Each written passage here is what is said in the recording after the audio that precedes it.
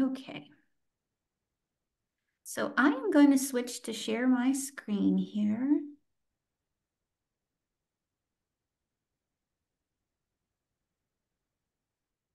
And we're going to have everybody muted and then at the end, but you can work in the chat if you have questions along the way and we will catch up to those at the end.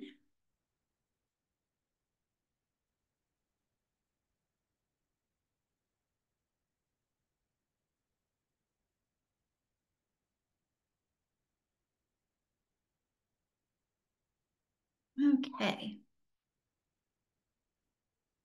And if at any point there's you can't hear me or you lose signal, um, put it in the chat and then Barb will message me. She can send me something on my phone that way because I can't see the chat while I'm I'm sharing here. So um, just a quick a little bit of an agenda. So where there is a disclaimer that I'll show here in a minute as far as this is should not be considered medical advice, um, but educational purposes.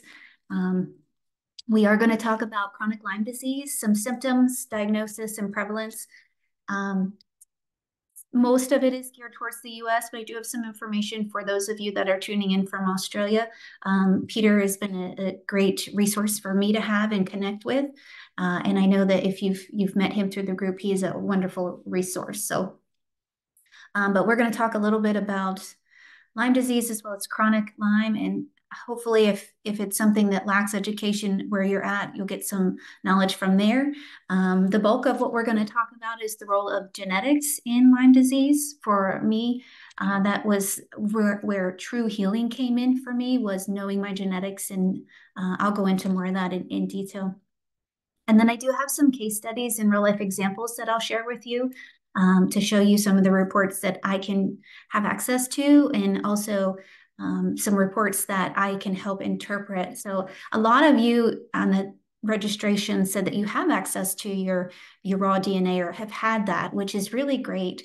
Um, there's a lot of companies that you can do it yourself and analyze through, or you can also work with a practitioner like myself to help you kind of understand it as well as have some goals around that. Because I know when you're when you're sick, sometimes it's confusing, sometimes it's hard. It is a lot of information. So uh, we can work through that as well.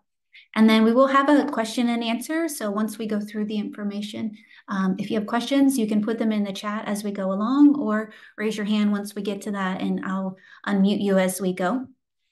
And then to wrap up, to tell you a little bit about some next steps that I could possibly help you with or some groups that you could join for additional support.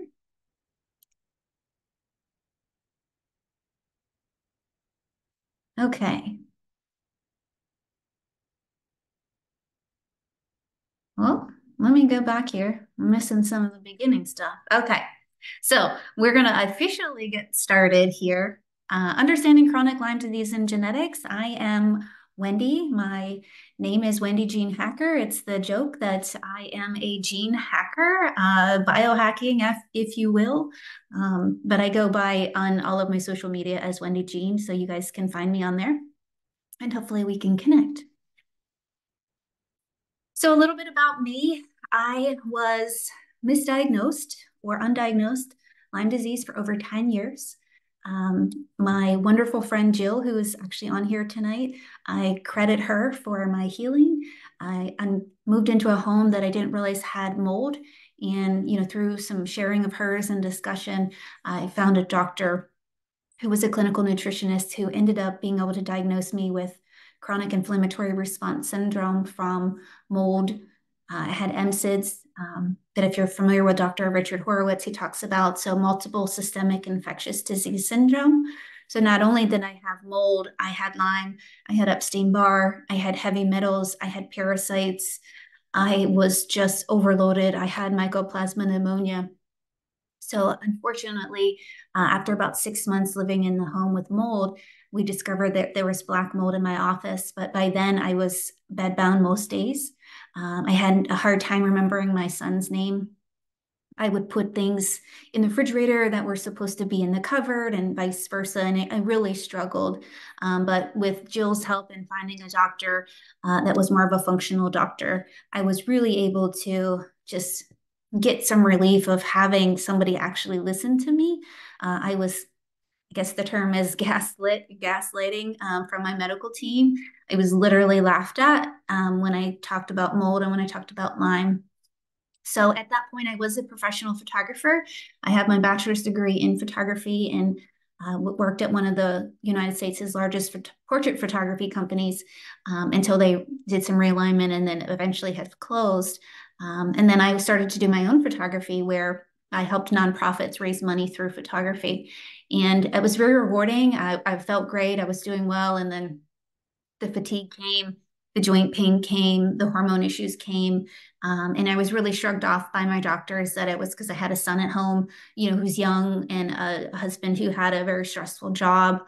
And, um, you know, then years had passed and I took a nosedive. And then, you know, thanks to, to Jill and the doctors that I was able to find, I was really able to um, start understanding what Lyme disease was, um, but I still had I still struggled with treatment. Um, fast forward uh, two years into treatment, my son was diagnosed with Lyme disease, so I kind of got put on the back burner uh, with my treatments. Um, my original doctor said I would need about four years of treatment to get back because how far um, my disease and co-infections had progressed. And in that time, I started to study and research Lyme disease. I started to study and research genetics, um, not knowing that it would become my future career and I would be where I am today speaking to all of you, but uh, I am very blessed to be here. So, in, let's see, I was diagnosed in 2018. I did treatment to 2019 and 20. And then in 21, during COVID, I got a rash. I got a new tick bite. I live in the Worcester, Pennsylvania, which is one of the highest areas in the United States for confirmed cases of Lyme disease. Uh, and that treatment was difficult because I couldn't see my functional doctors because COVID shut them down. Um, as a photographer, I was not allowed to work. My business was considered unessential and chiropractors and alternative doctors were, were not allowed to practice. Uh, but I was fortunate that within an hour from me, there was a Lyme literate medical doctor um, who put me on. Uh, I was on seven months of antibiotics, antivirals, um, pulsing them back and forth. Um, but it took a really big toll on my liver, which I knew some of my genetics and some of my body that I had a hard time with anesthesia. I had a hard time with antibiotics. Um, and I, on my birthday, I, I stopped treatment um, because I was having such adverse reactions to that. And then my other doctor that I saw was uh, back open, and we did some more herbal treatments. Um, one of the big things that helped me in my journey was a Rife machine um, from Germany. It's a I won't I won't be able to explain it properly, but I will send some information on it. Um, and then I did really well for about two years. And then last year, um, I was diagnosed again with Lyme disease in June of 2023. But having done so much to my nutrition, my environment, my body, knowing what worked for me um, from a genetic level, knowing that herbs worked for me, knowing the Rife machine worked for me, I was able to clear that infection in about six months. So I have been Lyme negative since August of 2023. I am back to photographing. I am now a certified holistic health coach with training in functional nutrition, as well as a genetic practitioner. It's been a very long journey. Uh, I was very fortunate that I documented my journey with professional photography uh, and self portraits. I am working with a publisher to publish a book on my journey, and I just really want to share uh, not just my experience, but others see that you know there's hope for healing, that there's hope for um, that just because people may not believe you or may not understand you that you know there are those of us that you know we've been there and we will support you and that's that's what brings me here today so the disclaimer uh, self decode is a personalized health service self decode is who i work for as a genetic practitioner so i will be sharing some information from them um, I won't read this word for word. You guys can see this and I'll get a copy of this. Um, but we we don't diagnose, we don't treat, but we do recommendations based on the human genome research as well as provide risk analysis and information. Um, we encourage you to always consult your doctor, your medical team. I know that's always um, the funny part when I say that because most of us have given up on our doctors or understanding that our doctors don't necessarily want to listen to us. But um, we always have to say that you should talk to your medical care team. Um, in Pennsylvania, I'm allowed to share nutritional information, but I am not allowed to uh, do certain things because I'm not a nutritionist. Um, I know things are different in Australia, but in Pennsylvania, we have 51 states. Each state runs very different, um, but I'm allowed to provide you education material. So um, out of my 17 clients, 17 of them should follow a Mediterranean diet. So I'm able to share that from an educational standpoint. So um, it's important to work with your doctor, understand your risks, especially if you're trying to change the medications or change your treatments. Um, it, you know, follow their advice the best that you can. However, those of us that are here, usually we're here because we feel like we've been failed by the medical community. So um, take that for, for whatever your journey is. I was very fortunate to have a good medical team. Uh, my neurologist is still unsure why I was having the tremors, although we know they were linked to Lyme disease at this point. Um, but when I say a team, uh, with Lyme disease, you may need a cardiologist, you may need a neurologist, you may need a rheumatologist, um, depending on how your medical system is.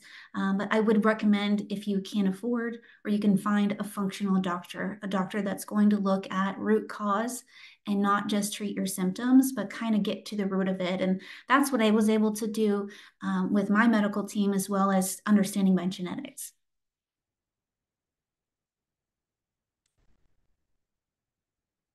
So we're going to talk some more about chronic Lyme disease. Um, it is starting to be recognized in America for chronic Lyme disease. Sometimes it's also called post-treatment Lyme disease syndrome. Um, the CDC here changes their mind all the time, whether it's recognized or it's not recognized, um, but we won't get into the politics of that. And I won't go through all of these word for word because most of you, if you're here, you're familiar with Lyme disease, but I will do kind of a top view. So Lyme disease, the origin and treatment is very controversial in the USA um, and not recognized in Australia um, because they don't, um, no ticks have shown the specific bacteria. Now they do recognize that it could possibly be transferred from mother to child, which is very controversial in the US. There are studies that show that from the Lyme disease.org website, but the CDC will not recognize that it could be transferred from mother to child. And for me, that's uh, disheartening because my Lyme infection tracked back over 10 years, which meant that I would have had Lyme disease before my son was born. So we did pull a tick off my son when he was eight. Um, he did not test positive on a standard test, but when we had specialized tests, he had seven out of 10 bands. But given some of his sensitivities and health issues, I, I wonder if he was born with Lyme disease, but we will never know that. Um, but it is always something to consider and think about um, with you know the ever changing uh, controversy of of Lyme disease and um, it was first identified in Lyme, Connecticut, in the United States in the 1970s. So in America, it's it's nothing nothing new. Unfortunately, it's just not talked about. Um, Lyme arthritis was first reported.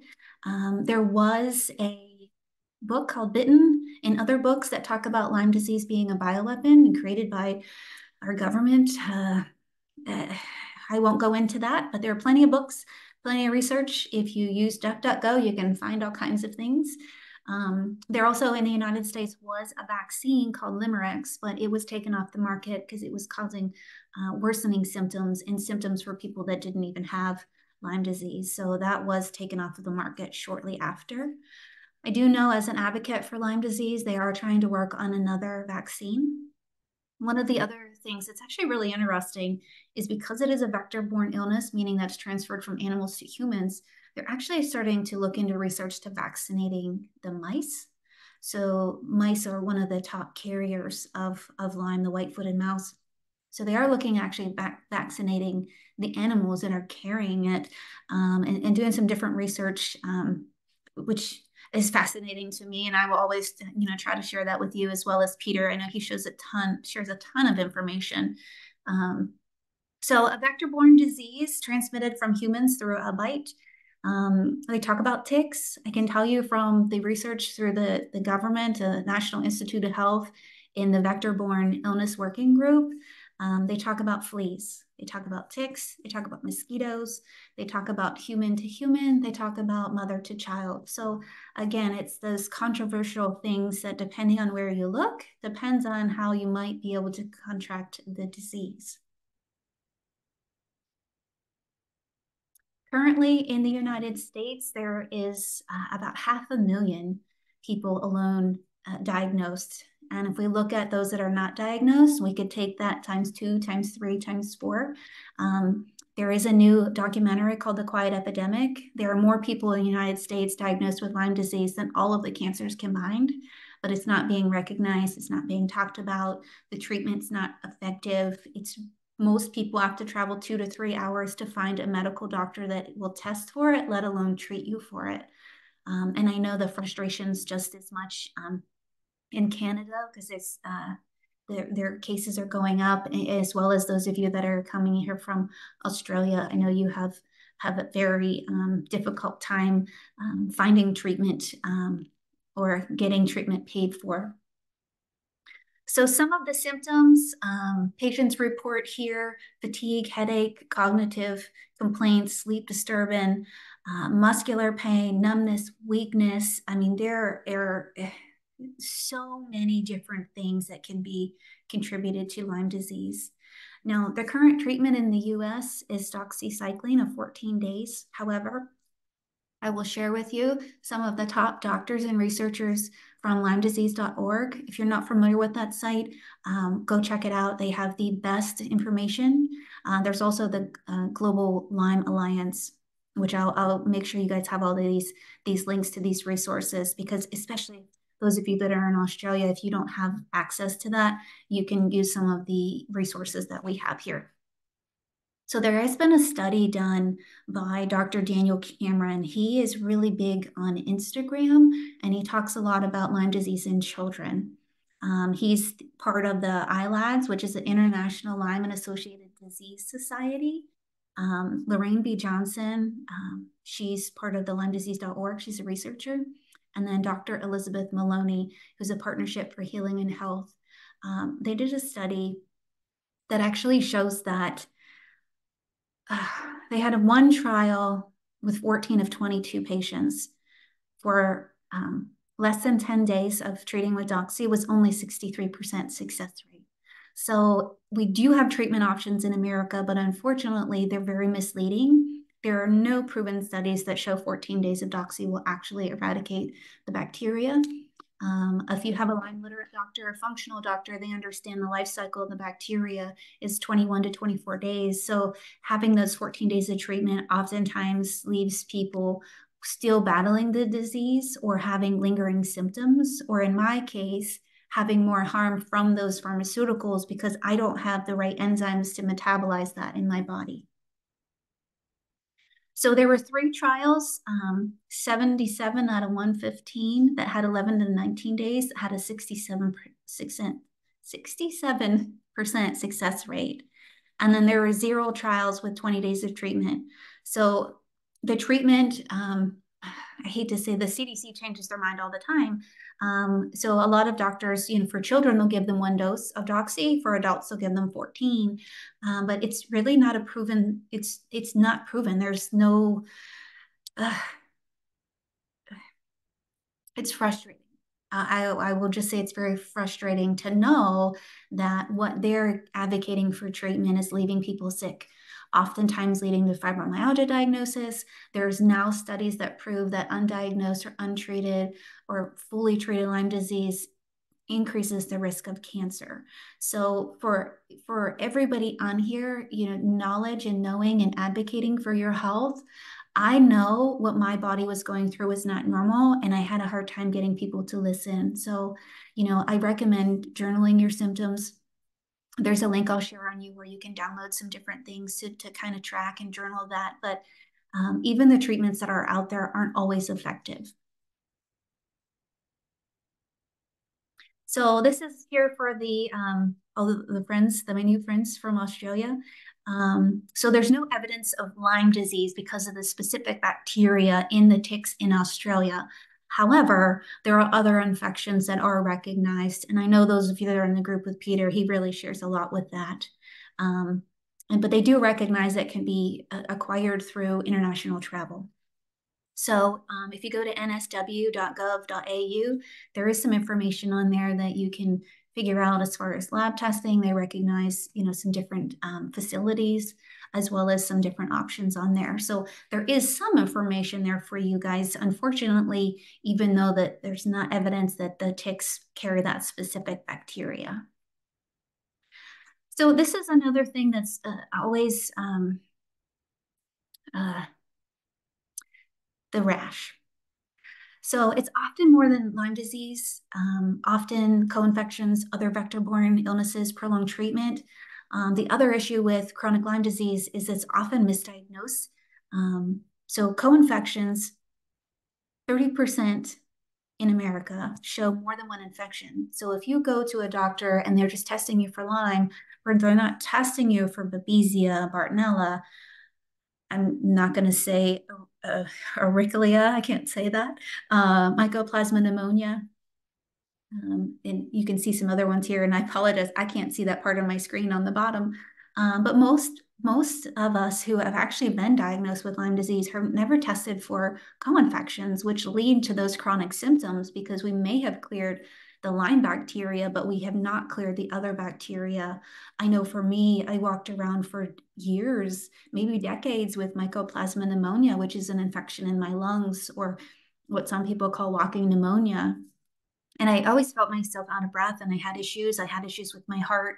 I had issues with body tremors. Uh, and those were from co infections that I was never actually tested for. So if we look at tick-borne infections, um, they're zoonotic, meaning they're passed from animals to human or vectors. Ticks, mosquitoes, fleas, um, they can transmit the disease to mice, rats, and squirrels that can bite humans. Um, they can carry bacteria, they can carry virus, fungi, uh, protozoans all at the same time, and they can transmit those through one bite. So if you do pull a tick off you, in America, there are plenty of places that will test the tick for certain um, infections. I recommend that anytime if you pull a tick, you want to pull it carefully with some clean tweezers. Be careful that you don't squeeze it because you could enable it to push more infection into your body. Oftentimes they say it has to be attached for a certain amount of time. I can tell you it, it can be attached for a few seconds. Um, one of the analogies is it's like stepping on a dirty needle. It can be instant, it can transfer a lot of unhealthy, nasty things. So if you see the tick, which most of us don't because they are so tiny, um, but if you do see one or have one, I do recommend having it tested um, maybe Peter can share later if there are any testing facilities in Australia. Um, but specifically in Pennsylvania, we have four or five just because we are the largest um, case of infection. So there's a lot of studies here. Um, so most uh, common tick-borne disease in the U.S. is Lyme disease, Babesia, anaplasmosia, auriculosis, I can never say that, relapsing fever, tel tele tularemia, Rocky Mountain spotted fever, and um, some of these can cause minor issues. Some people can have these and, and their immune systems are strong enough that they might not show symptoms for a year. Some of these, like alpha-gal or some of the other ones, could cause uh, anaphylactic or immediate issues or, or, even death. So it is it is a very serious um, thing if you do find a tick because um, we never know what diseases they are carrying. Uh, co-infections are infections that come together. Um, there's been studies that out of 3,000, over 50% have uh, co-infections and 30% or more have had two co-infections. So again, um, if you are battling, uh, you know, or have had a tick bite, even in Australia, they can al also carry more than one. So you want to make sure that whatever doctor you're seeing is, is testing for these, these other uh, infections, virus, uh, fungi as well.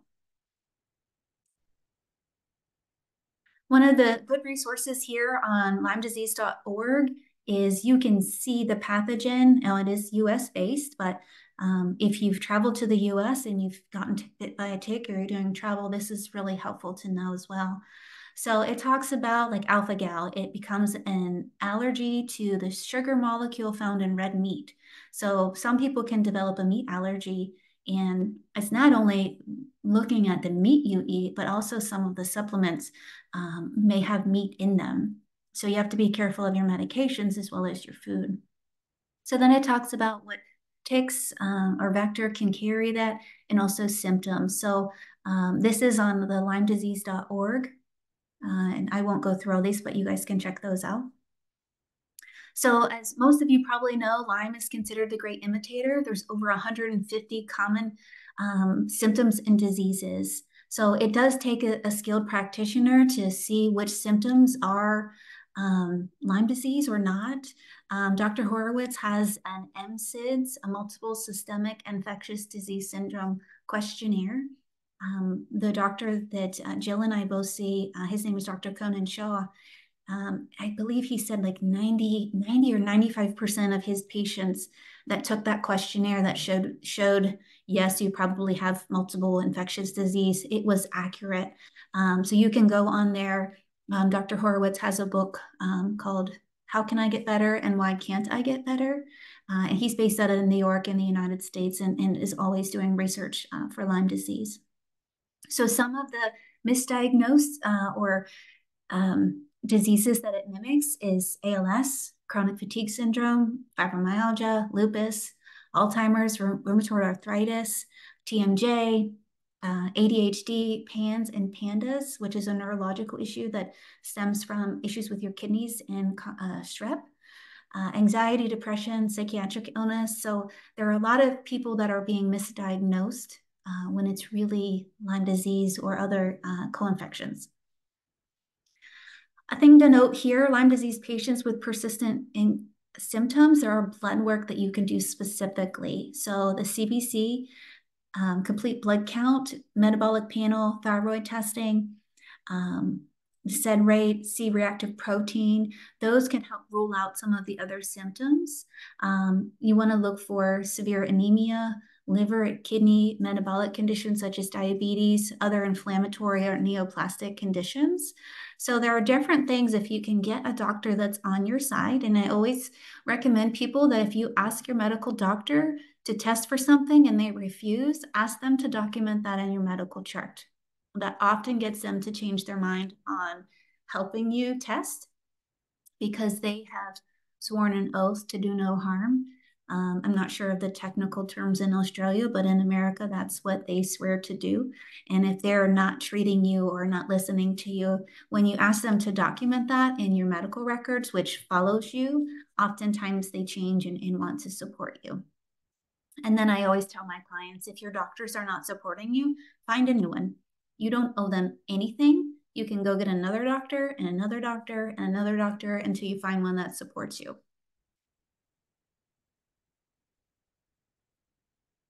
So here's an image from the National Institute of Health. And again, another great resource for those of you that are looking, you know, if you like the research and you like the data for Lyme disease.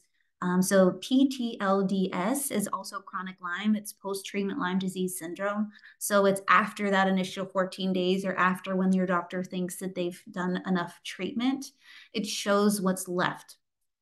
Fatigue, joint pain, focus, concentration, muscle pain, finding words. Uh, I still struggle with that sometimes. Sometimes my mouth and my brain don't work at the same time. So if that happens tonight, it's just this something that happens. Um, sleep, neck pain, um, issues with your hands and feet, irritability, low back pain, headaches. The list goes on. I won't go through all of that, but um, you can see that there are so many that, you know, we'll get into the genetic part of it, but you know these aren't not normal this is these are symptoms that your body is telling you you're still fighting an infection or you're still fighting a bacteria or there's still something that your body needs to process out to get out to cure i guess if you want to use that word um, so again always tracking your symptoms, whether you have a journal, you want to use an app on your phone, um, just something to see is okay, is the fatigue brought on by a food? Is it brought on by environment or stress? Or, you know, if you've had certain time after treatment, and then you'll have some really good data to look at and to share with your medical team. So I started to talk about the rash earlier, and in 2014, although that's 10 years ago already, but that's how far the data is behind. Um, Lorraine Johnson uh, posted that those that had an EM rash was 27 to 80%, which seems staggering that it could be that different. But is that different because it varies by state? So, with us having 51 states, everybody has all this different data. However, most people don't get a rash. And there are a lot of factors to that. Some is because their bodies are not healthy enough to produce that rash. Um, I never had a rash. Now, I had ringworm as a child that now I wonder if that wasn't actually a rash, but we had a swimming pool and lived on three acres. So they thought maybe it was that. Um, I had some health symptoms, uh, you know, in my younger years that very well could have been Lyme disease as a child. Um, I've always lived in Western Pennsylvania my whole life and, and been outside as a photographer, as a Girl Scout, always camped. Um, but I, I, never had a rash until my second Lyme infection.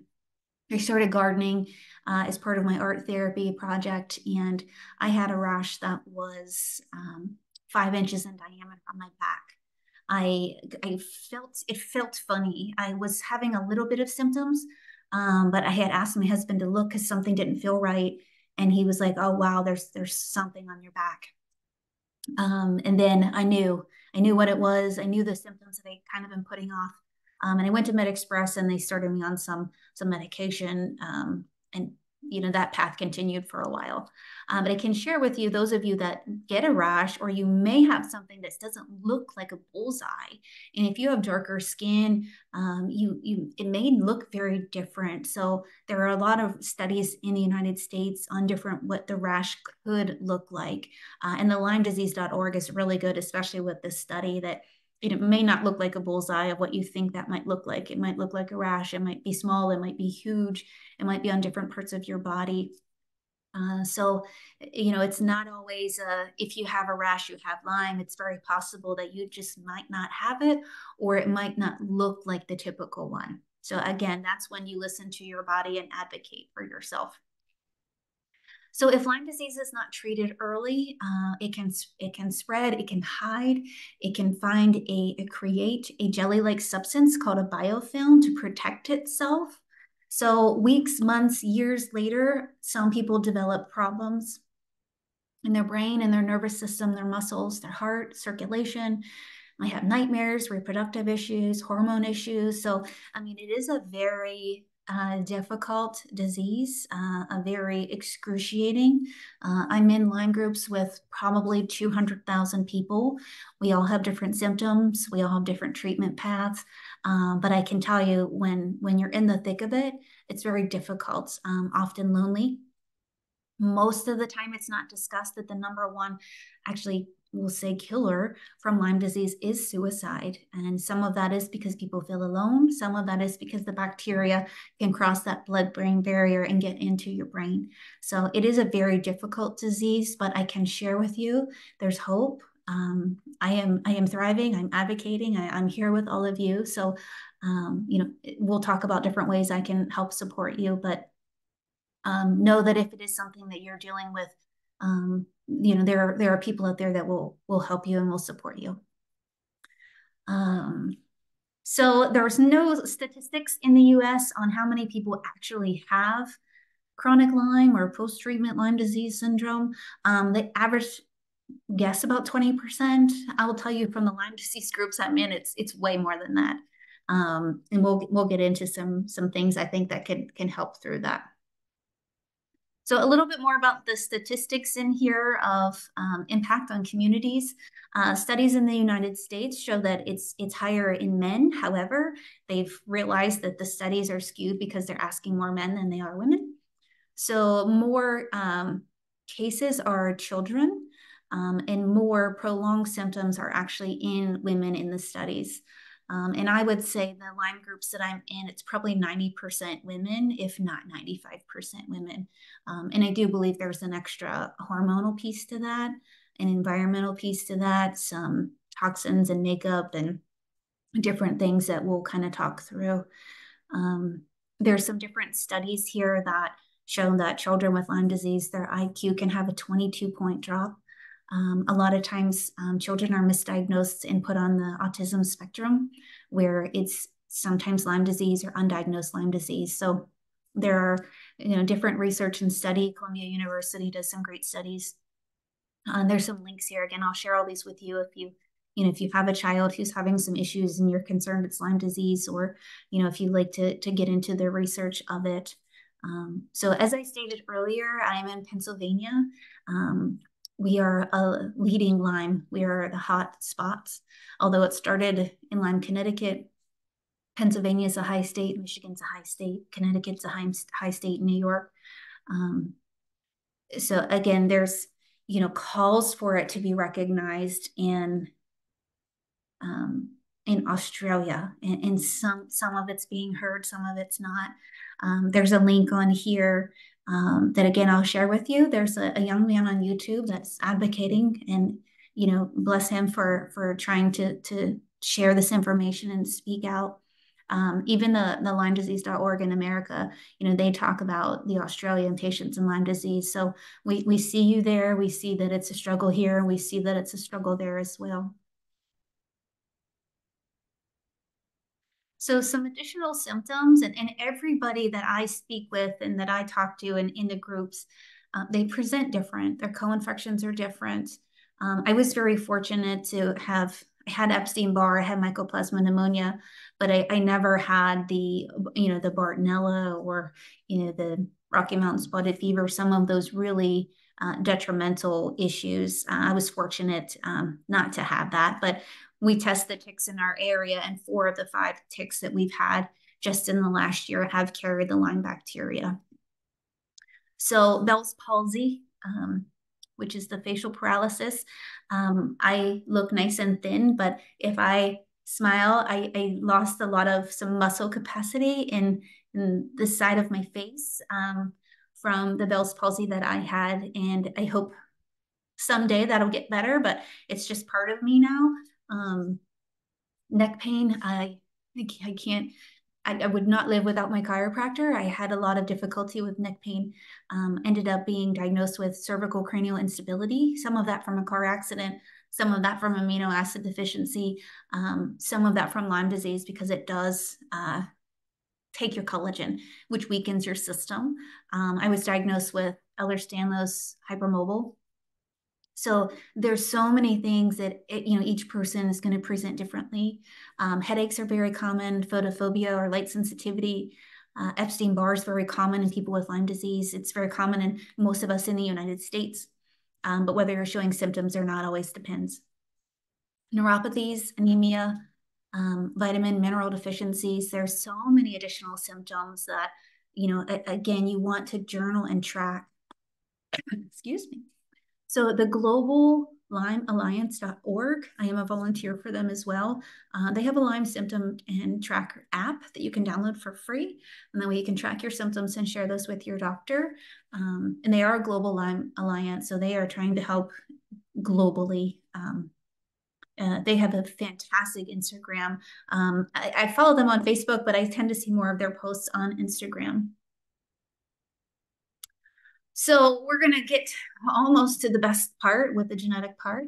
Um, but this slide here, you know, often missed by the medical team is uh, genetic immune and detox issues, which we're going to go into. Um, not testing for co-infections, toxins, mold, heavy metals, and parasites. Not accounting for the biofilm, which is the jelly-like substance that forms around the pathogen. So that's a protector. Um, overlooking crossing the blood-brain barrier. Oftentimes those symptoms like ALS or tremors, they're not looking at it being from Lyme disease, they're looking at it from another perspective. Um, and then the die-off. The die-off can cause neurotoxins in the body, which cause, uh, it's called a Herxheimer reaction. It's named after um, the gentleman who discovered that. So sometimes we get worse with treatment. Um, and that is because the neurotoxins are floating around in our body. And sometimes we have a hard time flushing those out. And there is a genetic component to that that I will discuss here shortly. Uh, nutrition, vitamin, minerals, amino acids, antioxidants, Uh, those are all used in holistic approaches in recovery. So, uh, you know, often people with Lyme have issues with parasites. Parasites like to steal your minerals. So, if you're not supplementing with minerals, whether you're getting it through your food, tincture, or supplement, then you know you continue to to have these chronic symptoms. So, through self decode, I can not only analyze genetics, I can also run lab work. Um, so we look at the Lyme IgG, Lyme IgM, the CD57. So in the United States, the ILADS, um, they do recognize the CD57 as a way to look at uh, Lyme disease to see how long that you have actually been fighting that infection, to see how long your body has been producing that response. Um, there's other testing, uh, the C3A, you can look at the C34. Uh, so there are other testing that is available to see, you know, how long your body's been fighting or what your body's been fighting. But I often tell people that, you know, testing is good. However, your blood's changing, your body's changing, your symptoms changing. So if you have access and you have insurance and you can do the testing, that's great. Uh, but otherwise, you know, listen to your body and you know start start a treatment path. So I'm gonna take just a minute to get a drink of water, and then we're gonna go into um, the role of genetics here. And I know that there'll be some questions there. So again, you can either hold them towards the end or shoot them in the in the chat to Barb. And if those of you also have water, that is also key. Um,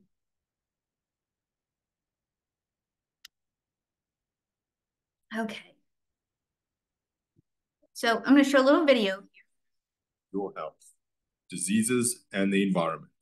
Many common diseases are complex, which means they are influenced by a great number of different genes, different mutations, and the environment. While your genes might make you more likely to have some conditions over others, your environment also plays a huge role in determining the actual diseases or conditions you end up with. Imagine you have a jar of marbles. Everyone is born with a different amount of genetic predispositions to certain disorders, like a predisposition to anxiety, as we live our lives, we also experience environmental factors or stresses that influence our mental health. Once the jar is full, we start to show signs of the condition, such as by having an anxiety disorder. Sometimes, with more of a predisposition to an anxiety disorder, may require less stresses to show the signs of the condition, and vice versa. This is what we focus on in Self Decode, we use advanced algorithms and machine learning to understand how the changes in your genes play a role in your predispositions to complex genetic conditions. And then we look into recommendations that are more likely to work for you based on your genetics. Our goal is to help you implement changes that are tailored to your body and designed to help you reach optimal health.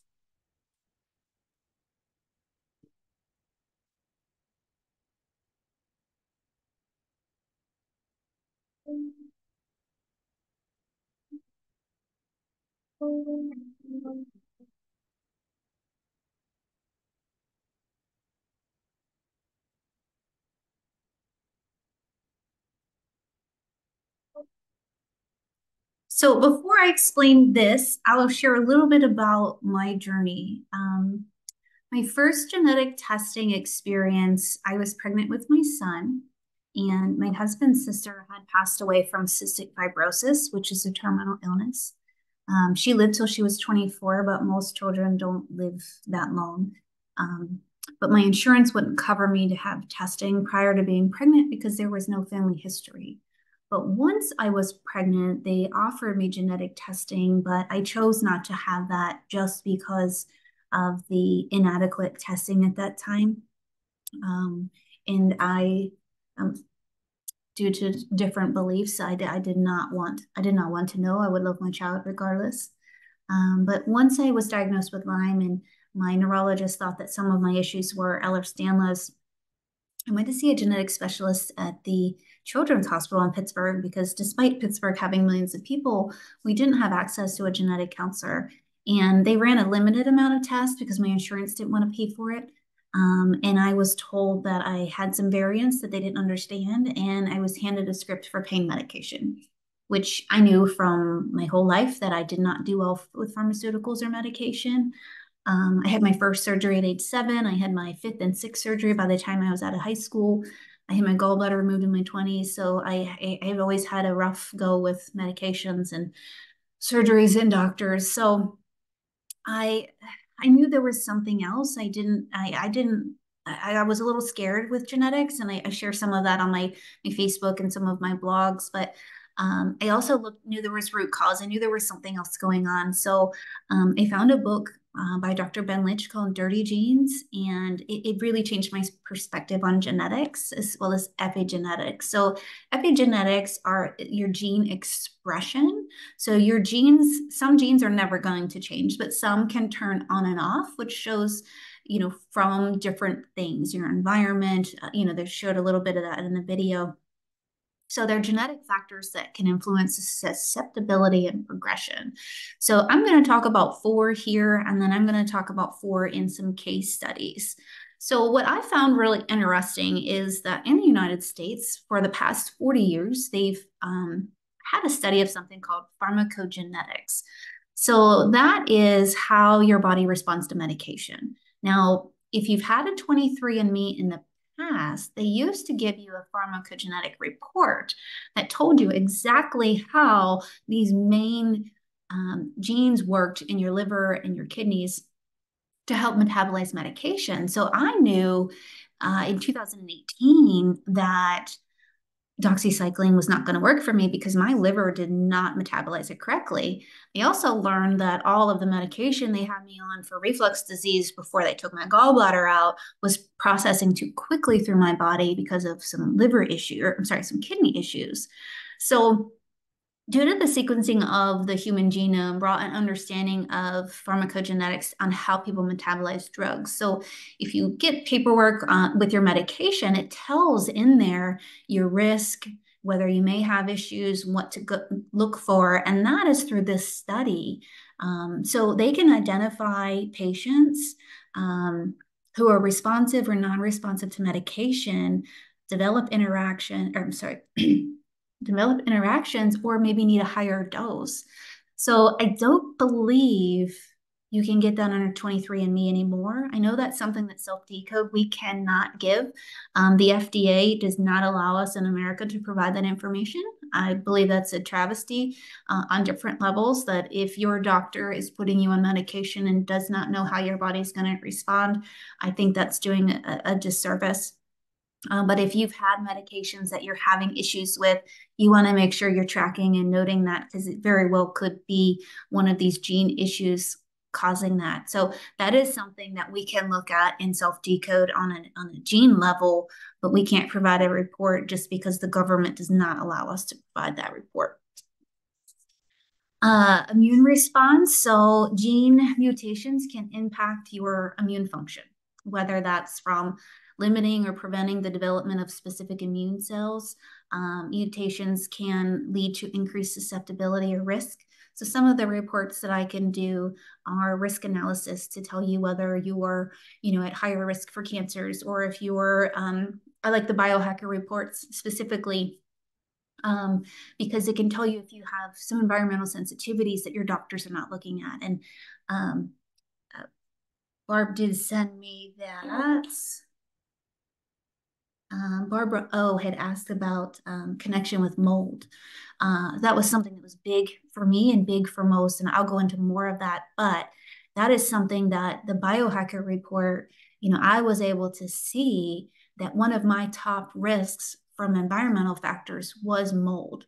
So mold illness is not a mold allergy, but I have an allergy to mold, but I also have a sensitivity issue to the mycotoxins from the mold, meaning that my body cannot clear it and it adds to my inflammation, which just is another burden to my body when it's trying to heal.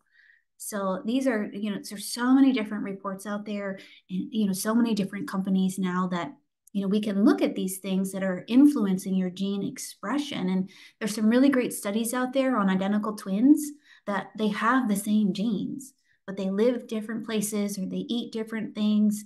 Um, there's a new documentary on Netflix that's it's interesting. Some of it I agree with, some of it I don't agree with, but um, you know, that's how we can see if people that are twins, you know, they have all these different factors turning on and off or expressing or not expressing the genes. One of the other things that I really look at is sensitivity. So diet plans are great, um, but they focus on controlling the amount of macronutrients, carbohydrates, fats, and proteins. Um, but depending on your body, you may not have the right enzymes to break those down, or you may have food sensitivities that are very, um, they're, they're not common. So, you know, gluten is talked about, dairy is talked about, but I'll go into more detail on oxalates and salicylates. So there are other things that, you know, you, you may be on a healthy diet, but it might not be the one specifically for you and your genes. Um, so as a functional nutrition expert, you know, I can really look into, you know, what is it they're eating? Is that something that's causing inflammation in your body or uh, just another factor that maybe is keeping you, you know, from allowing your body to heal from the Lyme because it's too overloaded with inflammation. So epigenetics, again, some people are uh, predisposed to higher, you know, levels of environmental toxins, and whether that's heavy metals or it's mold or it's BPA. Those are things that we can look at. And again, if your if your body is just overloaded, you know, your your immune system's not going to function right, or maybe the medication's not going to work right because there's all these extra factors that you know not being tested for or not being factored in. And that could put you at risk for, you know, heavy metal toxicity, mold exposure, or CIRS, CIRS, which is chronic inflammatory response uh, or mast cell activation syndrome or MCAS. Uh, those are all different things that are, you know, can be caused by your environment that could be adding to that chronic Lyme. So a little bit about pharmacogenetics, um, specifically for Lyme disease patients, the ABCB1 gene. Uh, and those of you that have your genes, um, I know 23andMe has a search function. I'm not sure if Ancestry has a search function, but this is something that you could look up on your own, or it's something that we always look at um, through the self-decode reporting. So sometimes it's called MDR1 uh, for multi-drug resistant gene. So this is to remove the xenobiotics from your body. So most chronic Lyme patients have this gene deficiency. So, didn't mean go there. So that means that you may be treating it, but this bacteria is still lingering through your body. So you may need to have some alternative things to help get that out, whether that's an infrared sauna, that's red light therapy, that's doing some things to help you sweat, if that's increasing your water or increasing your food. So you're having more um, bowel movement. So sometimes that bacteria is being killed, but it's just circulating through our system, causing those chronic symptoms. Uh, and then going back to the doxy study, pharmacogenetics. So if you're not able to metabolize those medications, you know, I, I wonder, I only speculate, is, is that why it's only 60 some percent effective? You know, are those other 40% just not able to break down the medication? Or is it just not enough medication? And those are research areas that i'm focused on and that i hope to present uh, in some future studies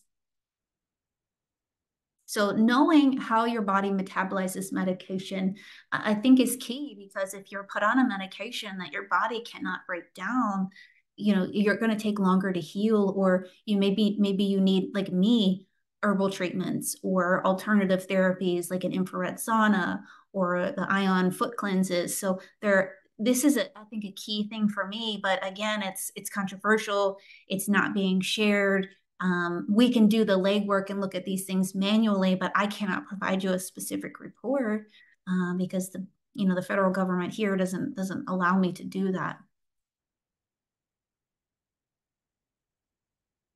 immune response, and this is from um, self-decode when we look at chronic Lyme disease. So TLR, which is toll-like receptors, um, mainly found in bacteria, viral, and fungal.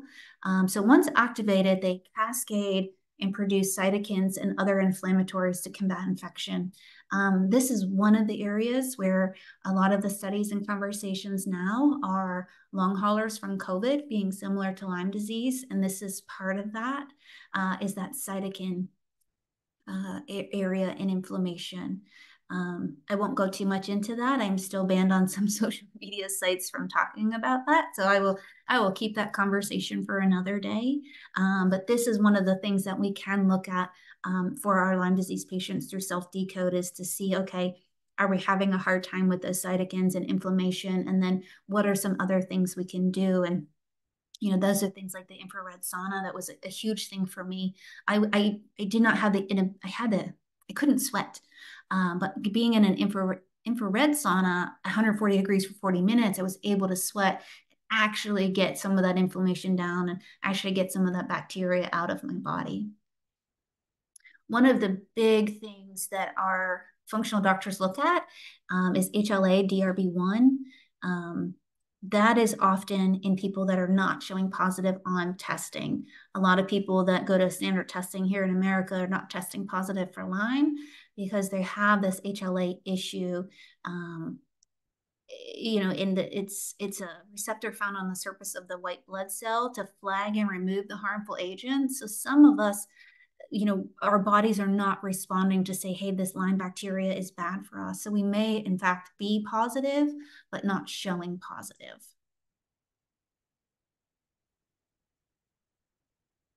Sensitivities, this is a big one that I think is often missed. Um, food intolerance uh, versus food sensitivity. So, food sensitivity is not a result of an allergic reaction, um, but rather uh, your immune system it, it producing a response to things that it's unable to break down. Uh, and I'm going to go more specifically into that. Uh, I think that's a huge component that's often missed in, in chronic Lyme. Um, the same with the environment sensitivity. So we know that there's certain things in our area that's bad for us.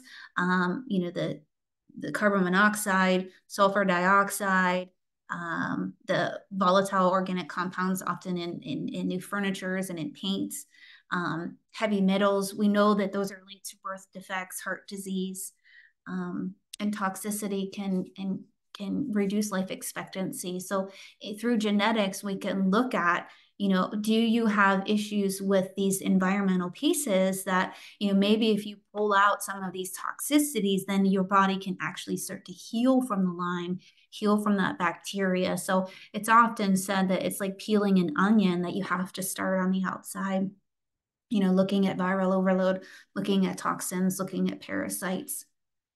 So again, it's those pieces where it's often overlooked for people with Lyme disease is, you know, their doctors aren't looking at these other factors that could be just weighing down your body. methylation. This is the big one. Um, and now Dr. Ben Lynch, he talks a lot about MTHFR. I will say, in my experience, it is not the end all be all in methylation. The, there's a whole methylation system. A lot of doctors in America are just looking at the MTHFR and not looking at the rest of the pathway. So I'll share a little bit more about that. Um, but these can help turn on and off your genes in that epigenetics. So the pathways convert homocysteine, methionine using folate. So it involves processes in sulfur, amino acids. I mean, it really is, um, you know, how your system is, is, is ran. And, you know, there's some different reports that talk about it, like thinking like the gas and the oil of your car. And, you know, you have to have clean gas and clean oil for things to work right. So there's some different analogies out there, but, you know, methylation is key. Uh, and I'll, I'll share more about that in a minute.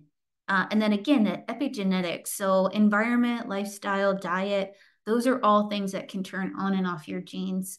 Um, the pattern of methylation and demethylation can impact your health, your aging, chronic disease, uh, as well as cancer. So, you know, there's a huge, huge discussion in the Lyme groups of so many people that have the MTHFR and you know they look at two genes but at self decode we look at thousands upon thousands of genes and then through Dr. Ben Lynch's work and StrateGene, we look at, you know, different pathways and how they all work together.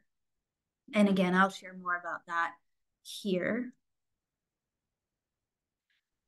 I'm gonna get some water.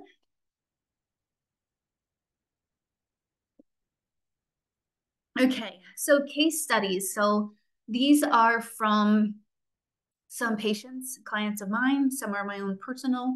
Um, I would ask that you can take notes, but don't share these um, because they are proprietary information um, from Self Decode. Um, but they are very, very useful. And these are, you know, samples of some of the reports. So currently I have 15 um, genetic clients uh, that I've been using for, for research and data. And 14 of 15 of them are suspected Lyme. 14 of 15 of them have a chronic illness. So most of the clients that I have are coming to me because they have a chronic illness and they're really struggling to get answers, to find answers, uh, and they've also dealt with Lyme disease. So the gene that I spoke about earlier, the ABCB1, about the drug resistance, 93% um, of my clients have that gene deficiency, showing that they're more susceptible to chronic Lyme because their body is just really struggling um, from that genetic piece. 87% uh, of these clients of mine have two or more methylation issues. So again, it's not just the MTHFR. There's PEMT, which affects your choline. Um, there's the CBS that's also um, prevalent in estrogen issues in um, the MTRR, which depends on you know how you handle heavy metals. So this methylation is a key thing, and a lot of them are you know these environmental factors or these food or these vitamin or mineral deficiencies like B12, B9 um, that have cofactors of B2 and B6. So having a multivitamin is great, but you also want to have a multivitamin that you can break, break down. So for me, I was put on a B complex um, that gave me headaches. Um, you know, I remember stopping treatment because I, I really felt like um, I just I just couldn't do it. It was really really hurting my body on, on every level. Uh, and then a few years later, I realized that you know I had some issues in my methylation genes that required me to have a methyl free B vitamin. So I could not use um, a methyl B vitamin. My body could not break it down, and it was just building up as a toxin. One of the things, unfortunately, in America, a lot of our food is filled with folic acid.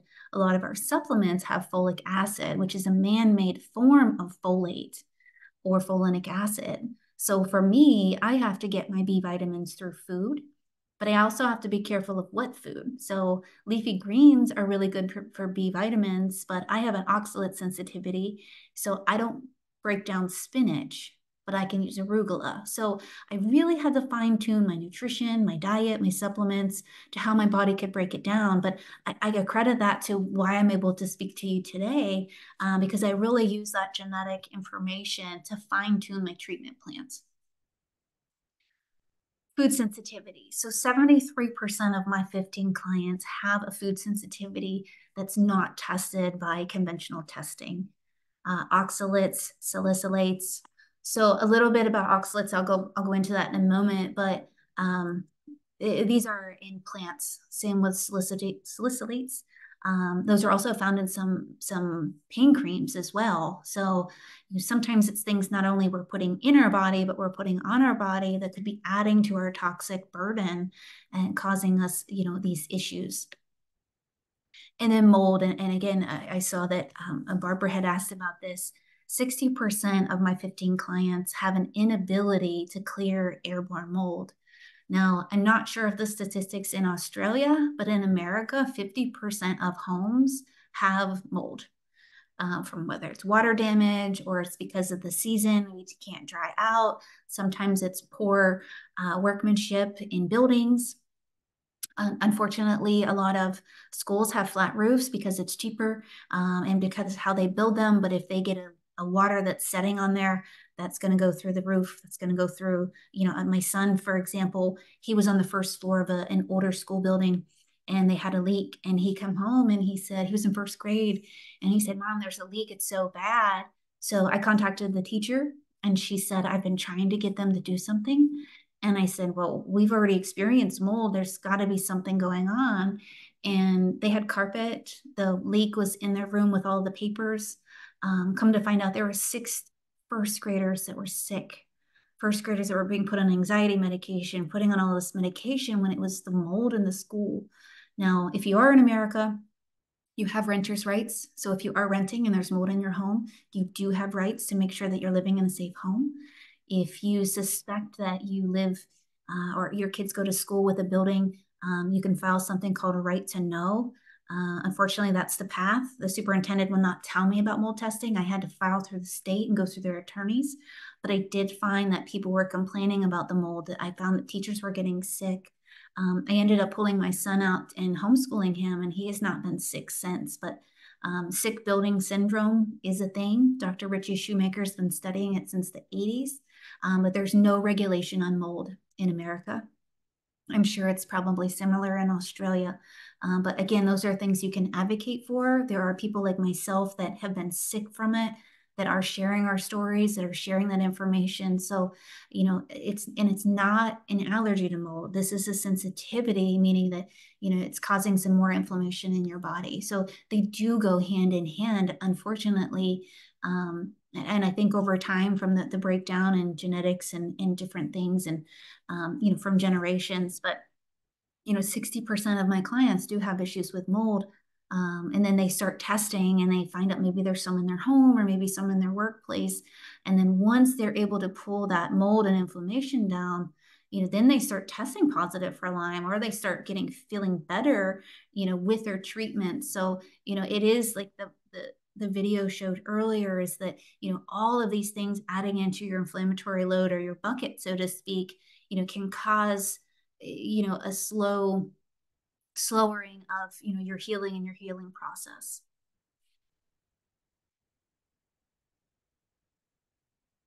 So this is a case study here for uh, risk factors and um, genetics for chronic Lyme. So we look at the T LR. We look at the ABCB1, the HLA, uh, and, and, some other genes here. So how self-decode works for reporting is if it's red, that means it's a double mutation.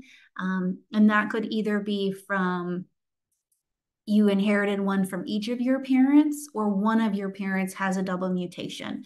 And then if you see the yellow, um, that's either you get one bad copy, so to speak, from each of your parents, or you know, if one has the high risk and one has the low risk, it evens out to be in that middle area. And then green is showing that you don't have any issues, you know, inherited from from your genetic line. So it's a risk for developing Lyme disease. Um, it can, you know, obviously our reference here is based on a tick location, time spent outdoors, you know, the season. So genetics doesn't play a factor in role of susceptibility to Lyme disease. However, in some people, including myself, um, this report is actually from my son, um, that you can have those cross, post chronic Lyme disease uh, from, from treatment. So, you know, the immune response, the inflammation, the removal of the bacteria. So for, for us, you know the the variant we're more likely to suffer from chronic lyme after having that borrelia infection. Um, and i will say that has been true for for myself and my son uh, both having some lingering symptoms afterwards. So oftentimes there are other genetic risks that if you get one you get the other. Um, so when you see these reports on here you know because it is data, because it is risk analysis. You know, there's some different reports that say take this as a grain of salt. It's for educational purposes. However, I can tell you these reports are exactly what my son and I went through. Um, but we were able to, again, take this information, you know, work on our treatment path, whether we needed more medication or a different medication or alternative treatments to help flush that bacteria out. Um, I didn't realize I was chronically dehydrated. You know, they say uh, in my functional nutrition training, half of your body weight in ounces. So let's just say you're 100 pounds, you should have 50 ounces of water uh, a day to help flush things out. So for me, I needed a little bit more than that to help flush the bacteria out. Um, and due to some other issues and food issues and sensitivities, I didn't know I wasn't having regular bowel movement. So that was again just recirculating those bacteria. So focusing on your nutrition, focusing on your hydration, focusing on your bowel movements, your sweating. Those are different things that if you do have this gene where your body is more likely to hold on to some of these bacterias or this inflammation, those are going to make a big difference for you.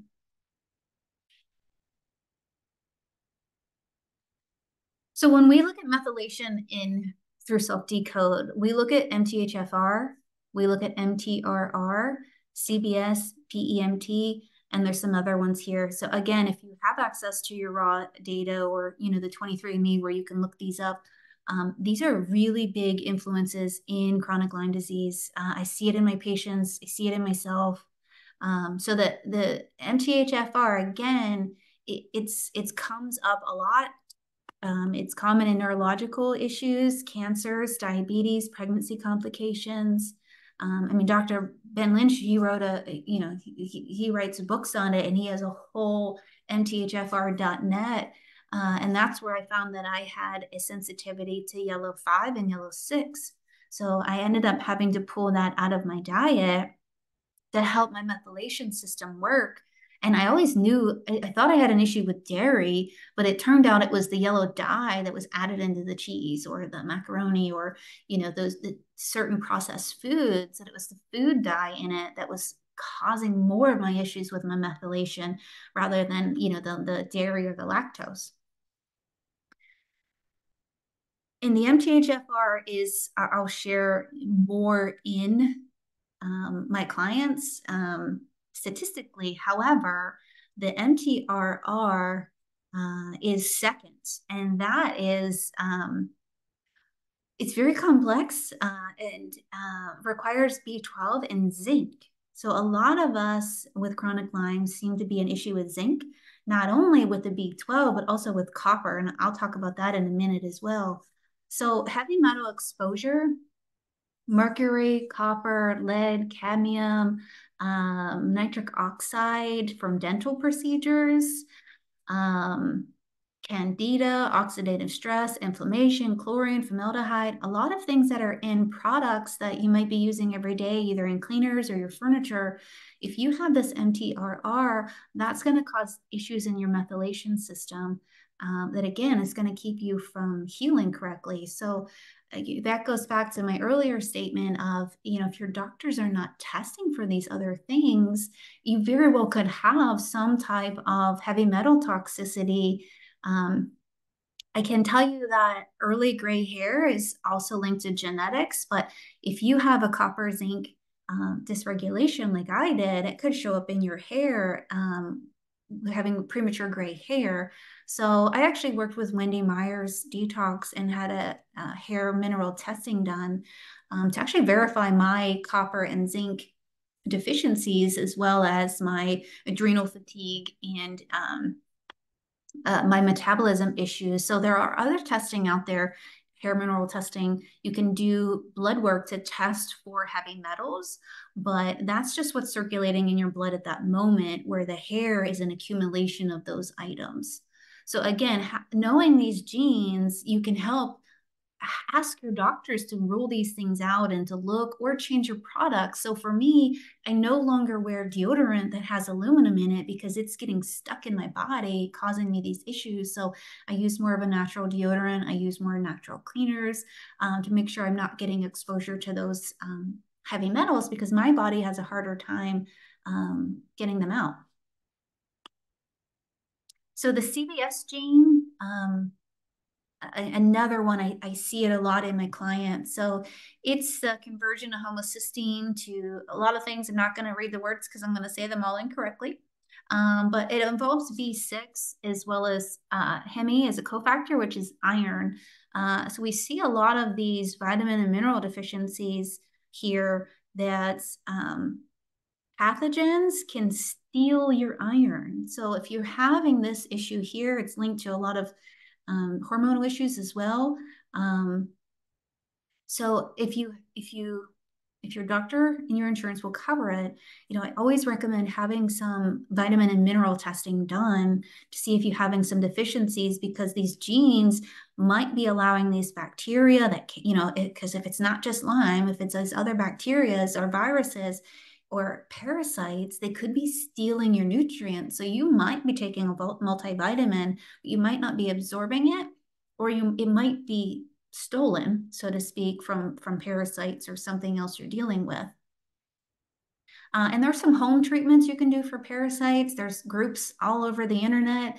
Um, I caution you to do them. If you do them, do them carefully, do them with no doctor is going to supervise you on it, but you want to be careful because you can, you know, if you're killing them, you know, they could be trying to do some damage on the way out. Um, I personally did hydrocolon therapy um, to help retrain my bowels, but also to remove some parasites. And then when I treated my mold, I had uh, binders um, with activated charcoal and some other things that actually kind of cut up the parasites and expel those with them. So there are some natural and healthy supplements and, and other ways that you can do for, for parasite cleanses. Uh, PEMT, which is choline, I see that a lot in my clients as well. Um, and that is bile flow, liver. A lot of people that have had their gallbladder removed often have a PEMT gene deficiency um, because we're not getting enough choline um, to help with that bile. And that also affects the estrogen receptors as well. So if you're having some hormone issues, or depending on where you're holding your weight, oftentimes those are linked to some genetic issues that you can take a supplement or add some food. So for me, I just eat sunflower seeds to get the choline to help uh, choline through food. Um, I, I can create a custom supplement based on your genetics, but I, as a functional nutrition expert, try to get mine through food because it's easier to uh, break that down for me. So there are even different foods that you can incorporate in to help your methylation. So Dr. Ben Lynch's is book Dirty Genes. If you don't have genetic testing, you can read his book and do a questionnaire, and it's usually pretty spot on. And then he gives you recipe ideas and other things. And um, you know, I, I am an affiliate with them. I do have a discount code for that if you want to get his book or you want to have your stuff ran through his StrateGene reports. Um, they are very sciency and technical. Um, so I do some work with clients for his reports, but self decode for me was a lot easier to understand. And, and they do work together. So, um, Dr. Ben Lynch used to do genetic testing. They no longer do that. So, self decode, we can do genetic testing, get your raw data, and then you could further analyze that through StrateGene if you want to specifically look at your methylation pathways. Um, but that is something through through my training and research over the years that I can, you know, if you say, hey, look, I have this, I can help you with different things to kind of pull out or add in. And I, I truly believe this is was what helped me get to where I'm at. And, you know, um, if you go on my Facebook page, you can see some of the videos of where I was at before. I mean, just a year ago, I, I had full body tremors um, all day long. I had a video reach half a million people on Facebook because I had such bad tremors you know my whole body um, but i don't have those issues anymore because i was able to really focus on you know how my body was built on a genetic level. So this case study is on nutrition uh, sensitivity. So gluten you know in america gluten is um, toxic. Um, there's uh, phosphates uh, you know there's there's cancer proven from from Roundup, from the treatments that are sprayed on our wheat. Um, However, if you look at a lot of labels, they're very um, misleading because it'll say gluten free, but there shouldn't even be gluten in it. So, you know, eh, sometimes it's really hard to distinguish, you know, what's gluten and what's gluten free. Um, I know there's some people on here that haven't had gluten for years, and if they do it, they have an instant reaction. Um, there's celiac versus non celiac disease for gluten.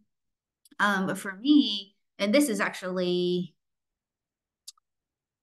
this is actually my report here, um, an oxalate sensitivity. So oxalates can steal your calcium. They can um, mess with kidneys, kidney stones. So, you know, for me, I had this really awful diet, sad American standard diet. Uh, I didn't know any better. Uh, and I worked too much and, uh, you know, had food out of a box rather than cooking it on my own. Uh, but once I saw my clinical nutritionist, you know, he said, you know, almonds, spinach.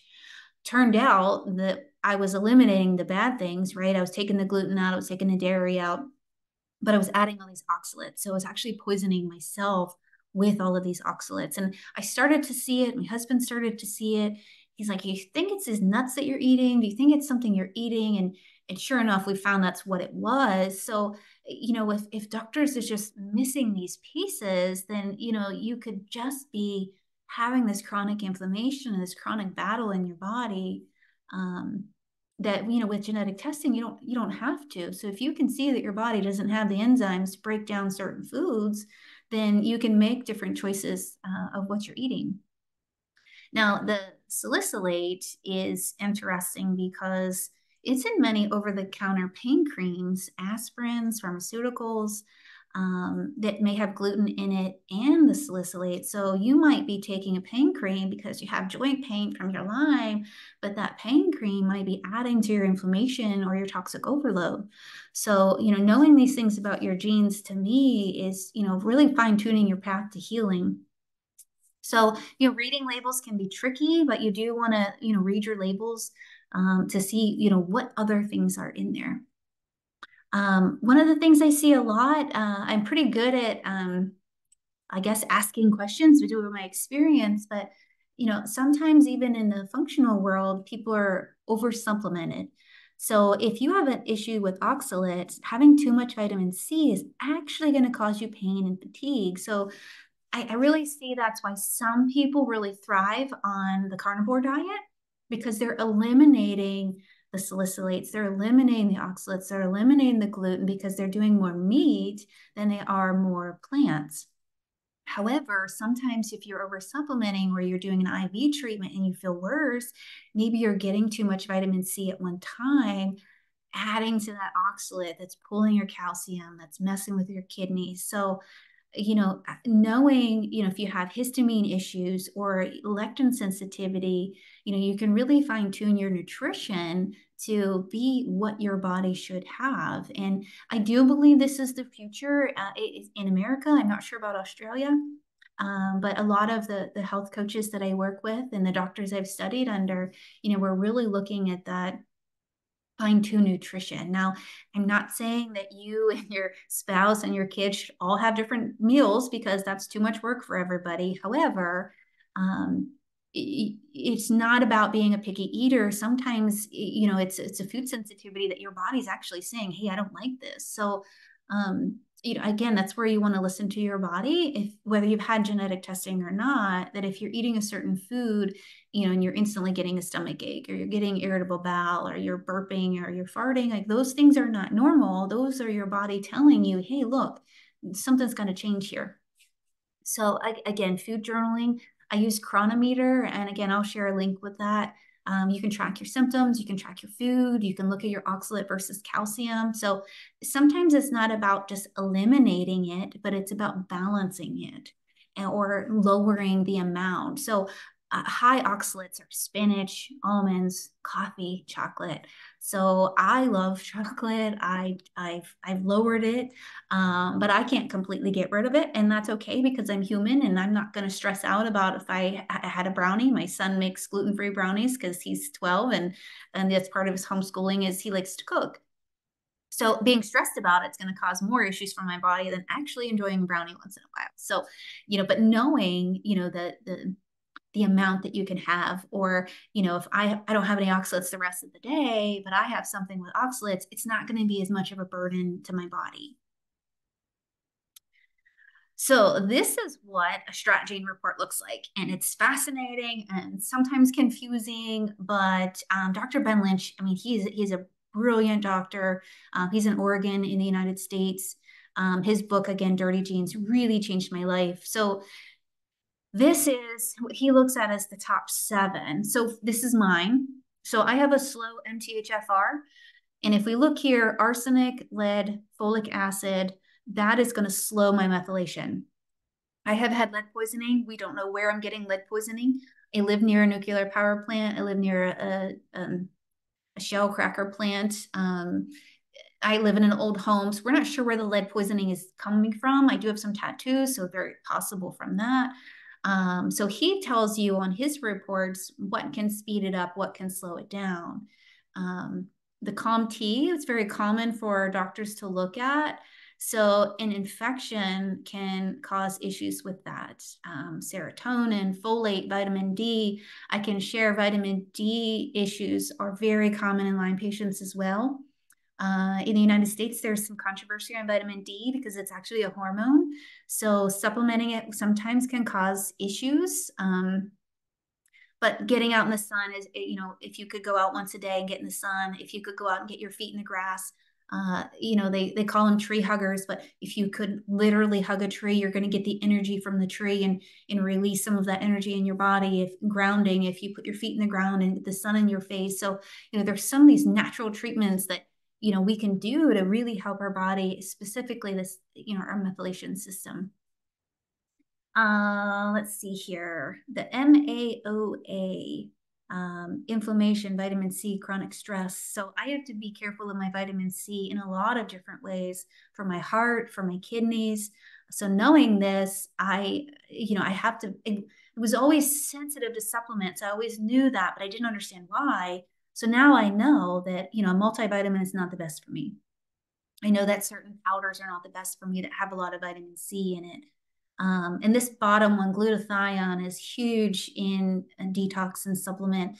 And mine is up and down, and this copper, mercury, zinc, iron, that has been a, an ongoing issue for my body. I have a very fine line of what works for me in copper um, and, and zinc, but that Cronometer app can help me balance that with my food and with my supplements. So, you know, I, I think having all of these pieces for me really was beneficial to know that you know, I, this this GSTO gene down here on the bottom, um, I am at more risk of mold issues from mold exposure. So I can see that in a lot of ways through my genetics. And, you know, the, I'm the canary in the coal mine, so to speak. If I go into a store or a home, I could tell them immediately whether they, they may have an issue with mold or moisture.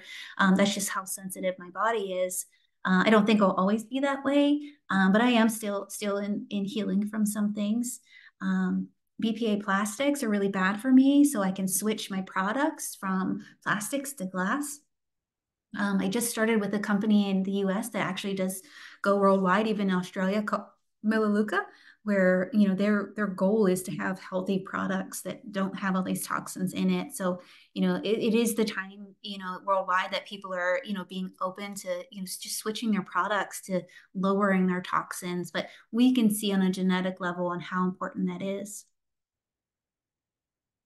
so I'm going to share this slide here. Um, current research, the study I talked about with doxycycline. This is the link here. And again, um, it'll be tomorrow for the Americans and on Saturday and then either Saturday evening or Sunday for those of you in Australia because of the time change that I'll send these links to everybody. Um, but you can read, you can look at the study on Doxy. I, I, know it's it's usually what's what's given. There's also amoxicillin, there's tetracycline, there's you know dapsone treatment that they're looking at. But this study is really helpful to know that you know if you're prescribed this, it, it might not be the right thing for you, or genetically you might need more or less. Um, there's alternative treatments like infrared sauna, the Rife machine, the ion foot cleanse, red light therapy. Um, I don't have on here, but acupuncture, chiropractor. You know, a lot of times we miss treating our body. We might add supplements or food, but our body needs help. Our body needs work. You know, because these these bacterias they get sucked in or they they hide. Um, this is an Amazon link here um, this is great reviews. Most of these are in supplements that I have taken personally. And in a lot of the Lyme groups, people are raving about this product. Again, the disclaimer look at it, don't make changes without talking to your medical provider. Um, but this tick immune support uh, is a lot of, um, so Japanese, knotweed, cat's claw. You can get cat's claw in a tea, um, Chinese skull cap, cryptolepis. I believe that helps with clearing the bacteria. Um, so the supplements in here, uh, I mean, there's almost five star reviews with 302, and you can get it on Amazon. Uh, but it's big in the Lyme groups that I'm in. Most of these supplements are something that has been in the treatment protocols because I've had eight different protocols in the last five years. Um, so there are others natural. So if you can't handle the doxy or you can't handle the treatments, there are a lot of really good supplements out there. Uh, but again, when you start something, you want to journal, see if you're having any adverse reactions. Um, and then that way you can decide, eh, you know, if it's going to work for you or not. Uh, this one here, and then I think we're going to get into questions. Um, So this is from functional genomics. So I, you know, with my clients, they send me their other reports uh, through companies that I don't work for, but I'm able to get that research and look at the data. Uh, and this one was really interesting to me is that uh, the CBS, again, we just talked about that, um, but the CBS 699 and the BHMT increase cysteine, while glutathione slows the cysteine into cysteine and the glutathione conversion, which we just showed in Dr. Ben Lynch. So, you know, these all of these companies they're they're they're coming to the same conclusion. So this one, um, variants in the SOD gene, um, it comes down to iron. So a lot of people with Lyme disease or chronic Lyme are showing they're anemic or they're having issues with iron or they have parasites that are pulling their iron or they're having you know other heavy metals that are uh, you know messing with their iron absorption so you know, glutathione is is a key. Uh, all of the, the functional doctors I've used have had a glutathione supplement in my routine because we can see genetically and we can see through all these chronic Lyme studies that we need to have that to help detox, to help pull things through our body. So again, there's there's all of this data out there. So if you have your, you know, your raw DNA, you can look some of these things up, or you can um, you know, there's all these companies out there, and it's really not as expensive as most people think, you know, to have your genetics. So if you had the 23andMe or Ancestry to look for that, you can download your raw data. Now, I will share 23andMe, because of their data breach, was not allowing people to get their data. So if you go into your account, you can go download raw data. If it's not an option, you can call them or email them and they will send it to you. So they're not keeping it, they're just not openly sharing it. And if you've had Ancestry, you can again go into your account and download your raw data. And then you can either upload that to companies yourself or you can work through somebody like me where we can further analyze uh, that data. So the, the SOD gene, um, back to that, um, it has to do with copper and zinc. And I had a client recently, she was like, you know, I, I we're in a Facebook group and she's like, you know, I, I really think I've got copper and zinc issues. Your story's pretty similar you know, and we're able to look at that um, if you have copper and zinc, it may, may be a toxin or build up as a toxin. And a lot of um, tremors, some things that look similar to epilepsy, sometimes are often copper um, because it can build up in your brain, it can build up in your eyes, it can build up in your liver. Uh, so some of that are these gene issues that your body, you know, just does not know what to do with some of these things, these, these metals, these minerals. Um, and, the interesting to note is there's so many things with ALS and Lyme disease that are uh, in genetics that, you know, I I know that I've, I've read books of the people being treated with hyperbaric oxygen chamber therapy that are, you know, lowering their ALS symptoms. I know that people that are finally being treated with Lyme disease. They're, they're lowering those symptoms as well. Um, sometimes MS is misdiagnosed. And so, you know, there are all these things with Lyme and chronic Lyme that are just overlapping. But it comes down to these gene issues. So, um, there's 200 mutations in the SOD1 gene that have been found in ALS, muscle weakness, uh, muscle mass, inability to control movement, uh, and sometimes those are also linked to undiagnosed Lyme disease patients. So, you know, again, track your symptoms, you know, really advocate for yourself with your doctors. Um, this is just a quick what the pharmacogenetics report. If you haven't ordered 23andMe, you might be able to get it. So the CYP2C19, the SLBCO1, those are very important on your liver and your kidney metabolism. So it tells you what drugs, if you're a rapid metabolizer. So for me, all of the reflux medicines I was on, my kidneys were processing them too fast. So therefore, they weren't working for me. And then the SLBCO1, that is my liver. So my liver was actually holding onto this medication. And unfortunately, my mother has the same issue and she just had a test and her doctor's like you have all this this medication is sitting in your liver. And i was like well yeah i've been telling you that for four years that we have these genetic issues but she unfortunately doesn't have doctors that want to listen to that. So um, you know knowing these can really tell how your body's processing medication and then you can choose what medications you can use or get alternatives or work with your doctors So we're going to open up to some questions here. Um, let me see.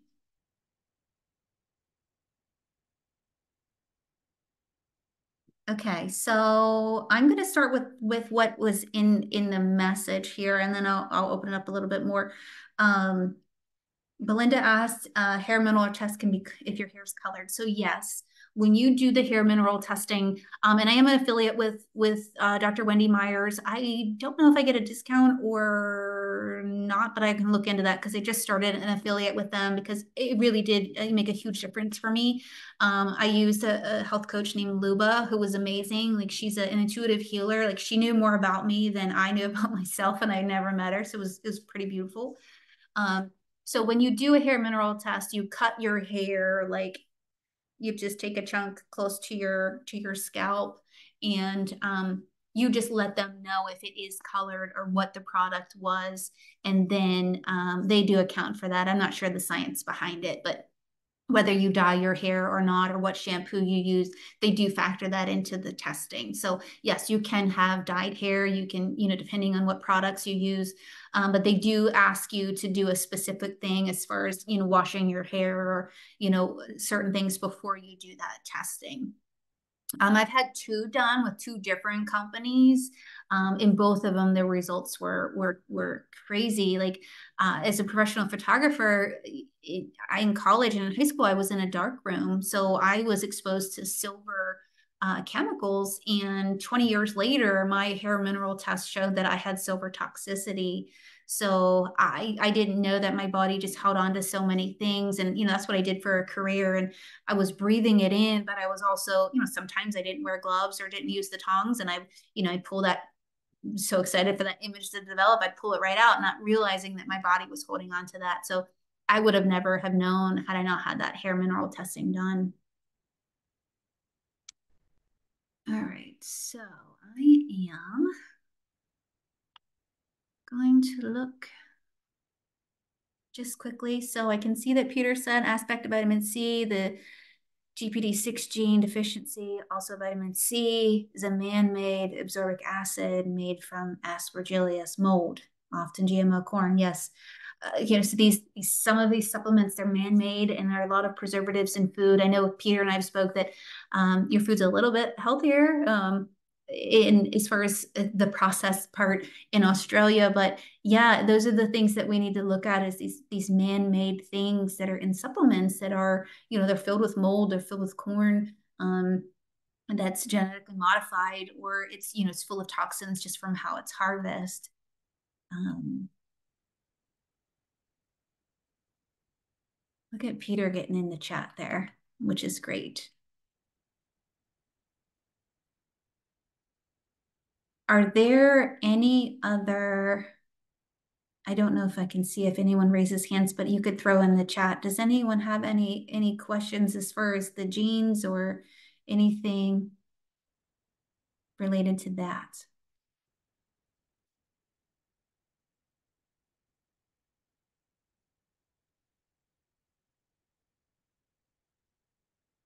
Okay we can always come back to that. And um, I will get you guys all my contact information. You can email me, you can connect with me online.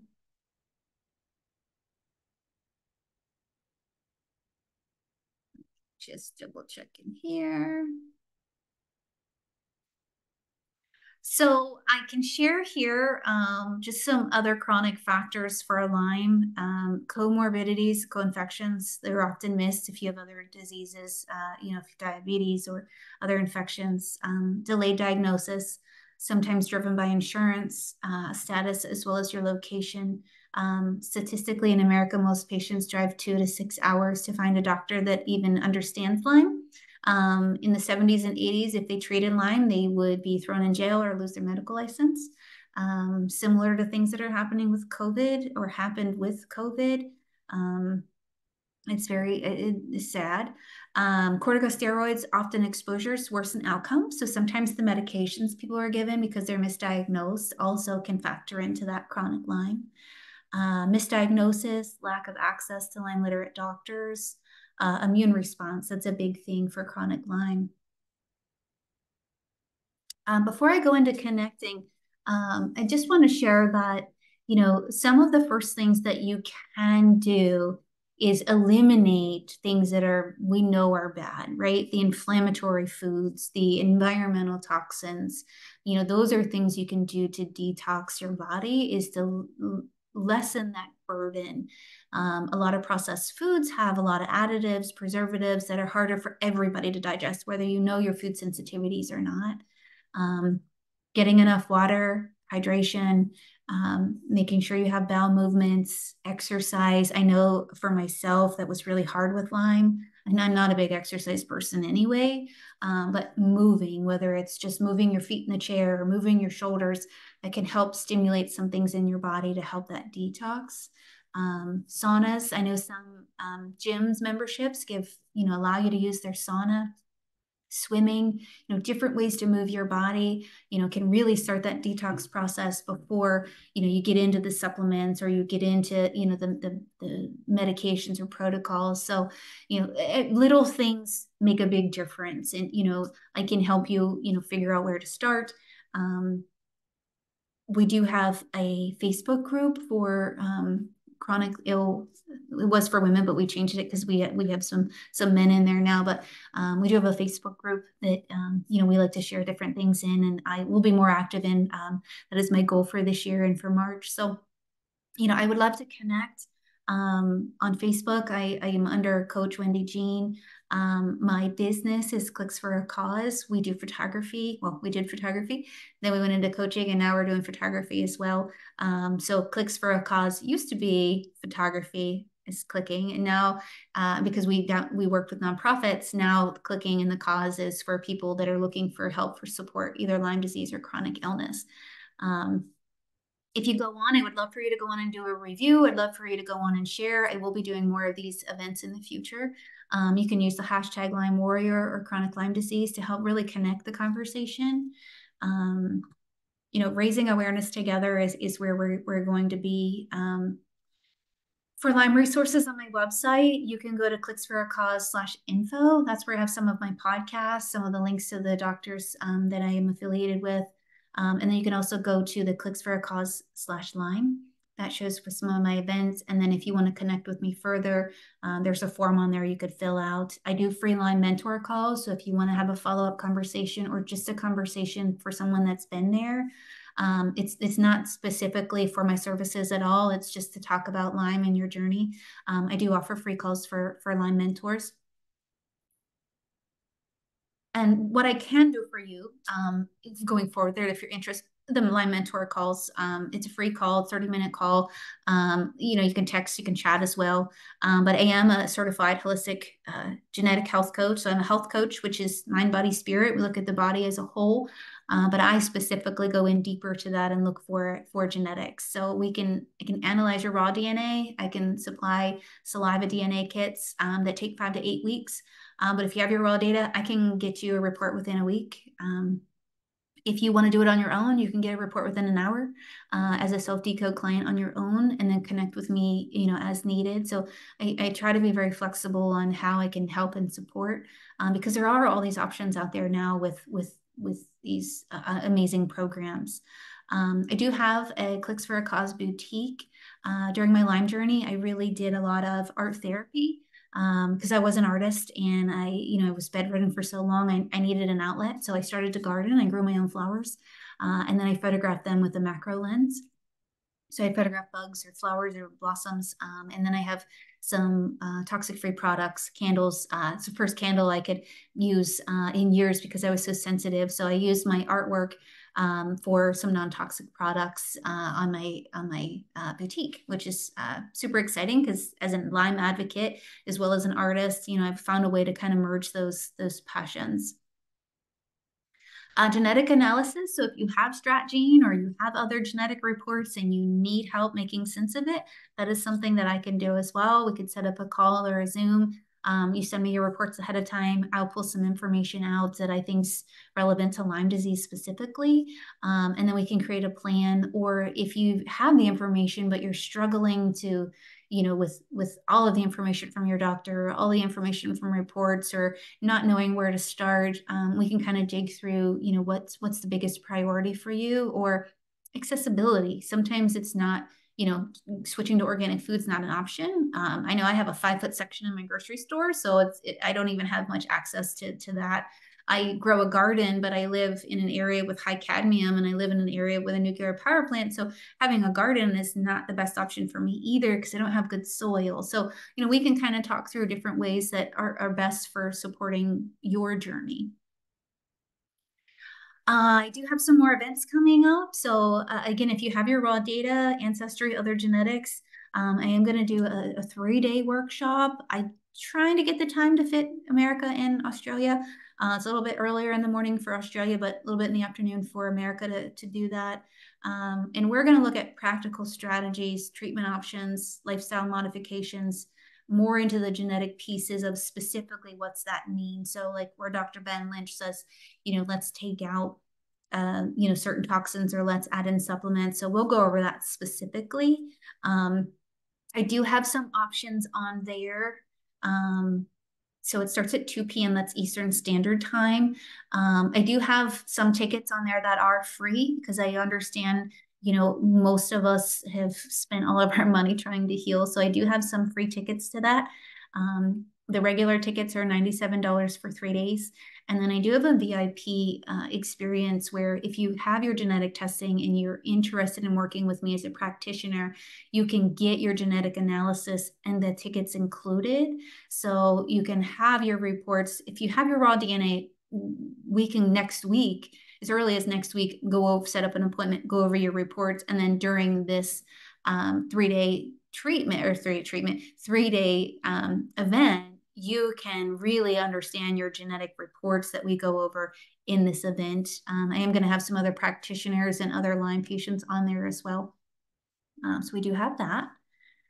And then if anyone here is on the other side of healing or knows somebody that might be interested in health coaching, I, I studied under Mind Body Green, which is um, Dr. Mark Hyman, um, you know, and a, Dr. Will Cole out of Pittsburgh, uh, and these really true uh, great professionals that were in the conventional world that went into holistic medicine, um, Dr. Stephen Gundry. Um, but Mind Body Green does have a new class coming up um, I do get a $750 discount, and they are actually giving their nutritional program free with that as well. So if you're interested in doing that, I can give you a link as well as my discount code. If you know anyone's looking at getting into this career, it is it is a supposed to be a three trillion dollar industry by 2025. Uh, I believe it. I think a lot of people are now looking at their health and looking at it, you know, from more of a holistic standpoint. Uh, here is a QR code to my website. Um, you guys can check it out. Um, I know all of you registered for the event, so you have been to the website, uh, but I have lots of different tools on there. I have lots of different things coming up on there um, this year as far as a paid group where we'll have different events every month or different speakers. We do have a free group that I just started for Lyme patients that you could go on and join, and it's meant to be more of a positive. I know sometimes the online groups get a little bit um, not so fun um, because everyone's healing and some people are angry and some people you know have no hope but you know i want i want my Lyme group to be a, a positive for everybody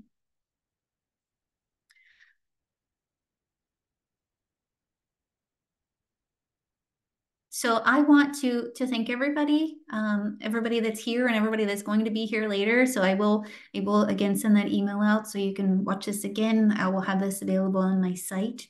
Um,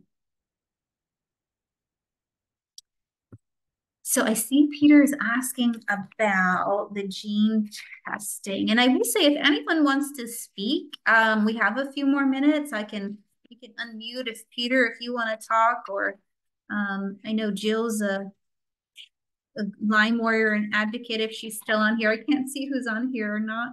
Um, but I do know the answer to that, Peter, as far as um, if I can find it here, who's had genetic testing. Um, and I, I, it looks like the, no, I don't, I don't want to say that specifically.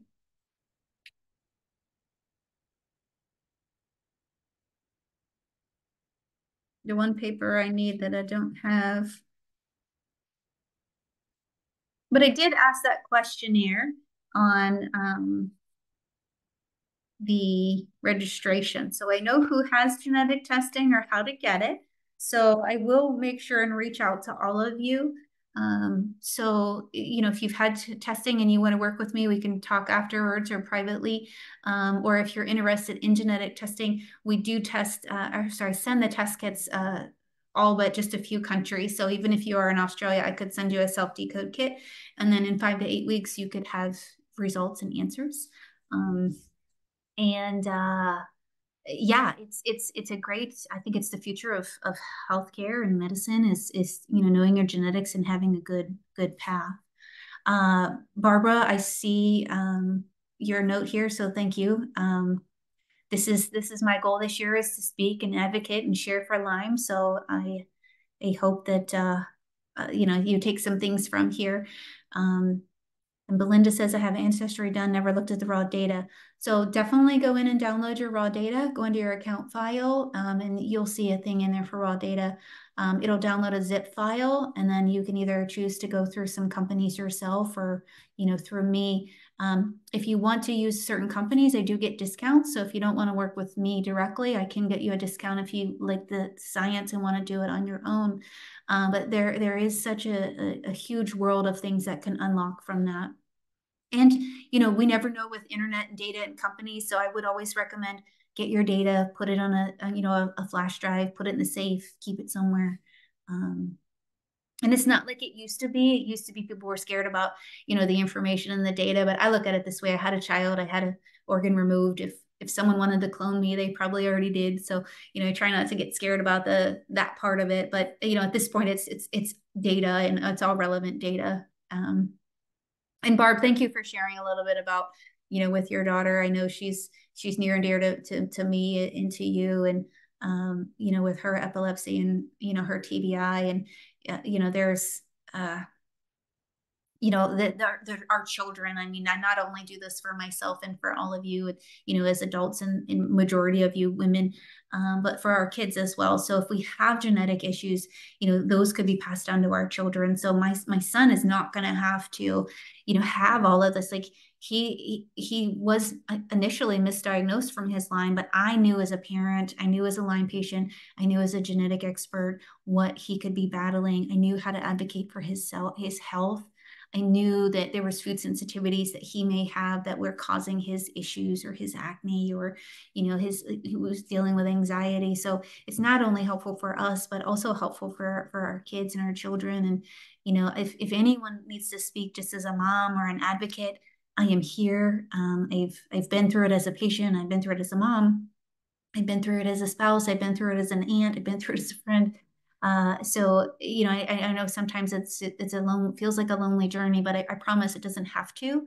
Um, and I encourage all of you to share your story. I know oftentimes we we go within, or you know, we kind of shut down with what we're going through, but um, trauma is a big thing in healing that I, I really didn't address today. But whether your trauma response can be genetic as well, but um, you know, dealing with trauma and dealing with you know getting over the fact if your doctors didn't listen to you your friends and family didn't listen to you you know it, it took me a while to come to the point that it doesn't matter what they believe or what they think because i live it. Um, and if they can't support me then i have to accept that that's they're not in the capacity to do that um, but i can share with people who are in that capacity or people like you that you know want to hear my story so um, you know that trauma and that stress response is also a big piece in in you know really healing in that in that chronic Lyme too. I I see that a lot in the groups that people are angry and they're bitter and and I and I get that. Um, but it's also something that we have to get past and those in, in the group that say you have to have a positive mindset I, I mean they're right um, you have to believe you can heal that is the first step in healing is you have to believe that it's possible Otherwise, you're going to have that chip on your shoulder every day that's keeping you back and having that negative self talk. So, you know, I encourage all of you, if you haven't seen some of my other podcasts, check them out. Um, connect with me online um, and, you know, reach out to, to any of us that are on here or, you know, in the groups because, you know, we've, we've all been through it or we're currently in it and, you know, supporting each other is, is very key. So I'm just going to say if there's anything else in the comments, I'm going to stop sharing my screen. um, so that way I can see everything. And thank you for everybody that's joining. I know it's hard, you know, with Lyme to to commit and to to show up. So thank you for for doing that for yourself, not for me, but for yourself. Um, and those of you that are watching this on a replay, welcome. I, am glad that you're able to see this. And um, I would like to do another one of these free events, um, you know, later on in the month. So if you have, you know, again, some feedback for me, I will share an email asking for that. Um, and then if you have other people that might be interested in joining, um, you know, let's connect that way. And, you know, I hope to do something specifically with Peter and his group um, to to help them as well because you know my heart breaks for anyone that's misdiagnosed with Lyme or that's dealing with Lyme, but you know eh, my doctors didn't acknowledge it and you know having an it, at least it's acknowledged in the united states not to what it should be but you know living in an area that doesn't even acknowledge it i, I can't imagine how much of a, a you know a, a, emotional burden and, and, and, and burden it is just on your body to not have that support. So um any way that me or any of my other fellow Lyme people are on here, you know, I, I do appreciate everybody. So I will have a summary um, from my cool AI because you know that's the world these days that I'll send to you, and then a follow up on some other things um, that I have coming up in ways that I can support you. And um, if if any of you want to advocate, uh, whether you're in in the U.S. or even in Australia, um, you know that is a big uh, passion of mine is um, advocating and you know pennsylvania there's lots of things here um, that we're trying to push for legislation hey i see you peter um, let me let me unmute you here Hi there. That that was fantastic. Thank you so much for all the time and effort you put into this, and thank you so much for considering Australia as well, because this is a time we can get, come here. But maybe being the Saturday here, people having days off, perhaps. Who knows? And that's quite that brilliant. And I'd, I'd love to add the fact that many people don't consider getting a genetic test done. I kind of think, why would I need to get that done? But you've really explained so many reasons why getting a genet genetic test can help with your overall treatment as well. Because many of us sort of read things online and talk to our doctors and then take all these supplements under the sun, but those supplements may not be good for us or maybe the wrong type. So right. understanding genetics can really help your underlying health before you even even perhaps getting the need to get your body healthier before you even start treatment. And, and genetics and understanding epigenetics would be really beneficial for it. So thank you for presenting that and hopefully more people will be convinced to get a genetic test done. But then more importantly, is getting somebody like yourself to greatly understand what all of those things mean. I mean, I don't.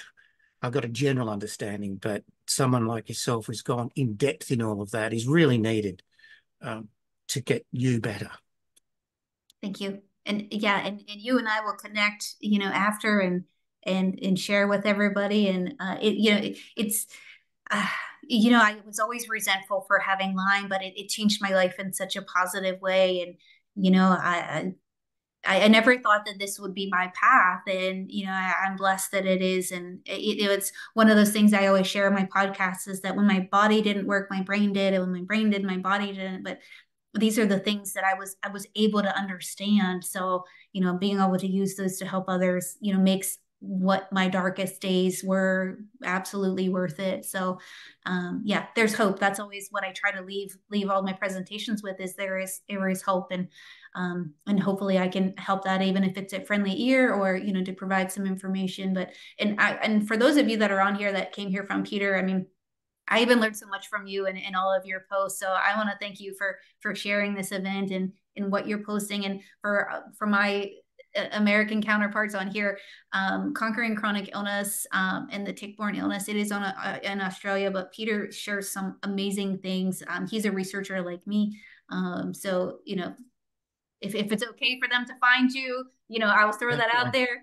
Um, but yeah, just yeah. some fascinating stuff that that you're able to share as well. And and I know we're not I'm not in the same country, but we we have some of the same battles and we do have some more research and some things so you know anyone that's that's not from here you know reach out to me I, and i'm just this this new technology and some of the things that covid opened up that we can connect this way to me is just is super super awesome so yeah definitely All right. Well, unless anyone has any other questions, um, this is the first time that I am only five minutes over on time. So I am super excited. I tend to, you know, talk a little bit too much. So um, that's that's fantastic. But again, feel free to reach out. I'm just going to throw my email in the chat.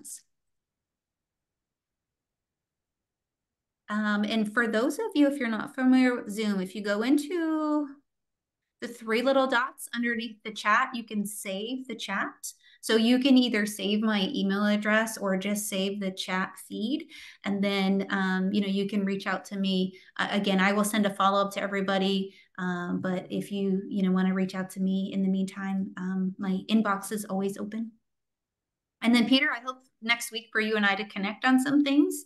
Um, and sure. then, you know, keep going forward and, um, yeah, I want to thank everybody again for for coming, and I hope that I can connect with with any of you in in any way, and you know, again, also connect with Peter because he's he's he's fighting for all of you in, in, Australia and just doing all this research with us. So, Excellent. all right. Well, everyone have a good night in America and a good day in Australia, which is, is still mind blowing to me. I'm so fascinated by it. And, and one day I will, I will, I will get to hopefully meet you in person because that's always been on my list to, to go to Australia. So you're always welcome. awesome. Awesome. All right, everybody. Take care. Thank you so much. Bye bye.